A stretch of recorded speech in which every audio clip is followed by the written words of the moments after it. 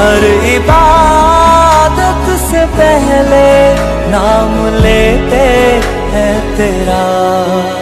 तेरा इश्क आज, तेरा इश्क आज, मुझ पे निसार कर दे।